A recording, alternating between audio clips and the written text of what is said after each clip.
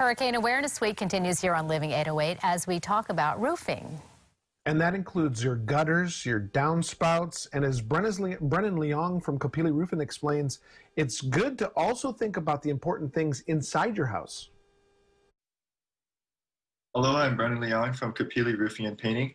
Some of the ways that you can protect your home during hurricane season would be first having a professional clean out your gutters and downspouts um, just to ensure that there's adequate flow.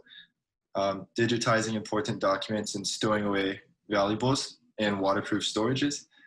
Reviewing your insurance policies and any home improvement warranties that you might need uh, should something go wrong. Having adequate documentation of your home's uh, prior pre-storm condition, um, just in the event that you do need to make a, an insurance claim. Having your roof inspected prior to storm season. As we near storm season, um, especially right before a storm, the most that can usually be done is a temporary or emergency fix. So staying on top of these types of things and addressing home maintenance ahead of time uh, allows you to deal with it before it's a bigger problem.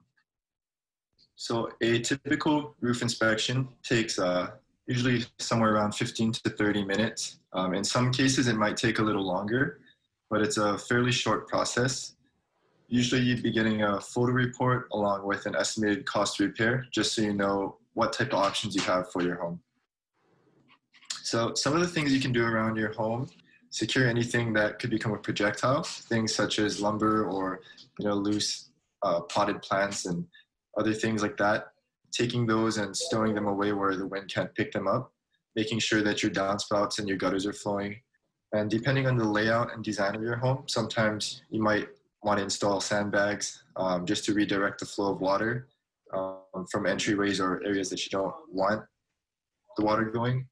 Really important to be proactive in maintaining your home. Whenever we see more severe damage, it's usually a case of just doing uh, too little, too late. It's uh, it's important to think about all the things that you have in it, it, important papers. They get wet, uh, you're in mm-hmm. trouble. So it's good for storage. Um, so I, I, like that he brought up those things as well as the roof.